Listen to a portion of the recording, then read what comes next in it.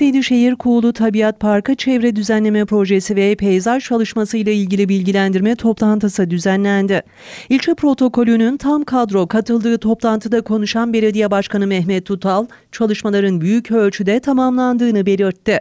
Bu düzenlemenin içerisinde 700 metre civarında korkuluk var ve bunları doğayla bütünleştirmek için ahşap yaptık. Artık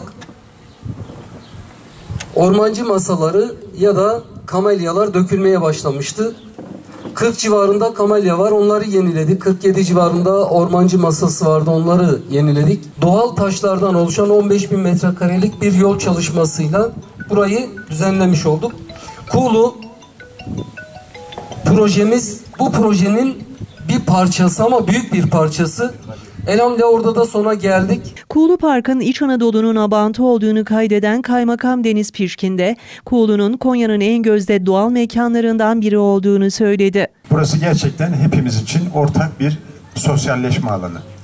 Ve ne yazık ki eşi ya da e, alternatifi oluşturulamamış bir sosyalleşme alanı. İnsanımız burayı seviyor. Burası başkanımın da bahsettiği gibi ta 50'li yıllardan beri hepimiz için ortak bir aslında kültürel miras. Konuşmaların ardından Başkan Tutal, protokol üyelerine ve misafirlere Kuğulu Tabiat Parkı'nda yapılan çalışmaları anlattı.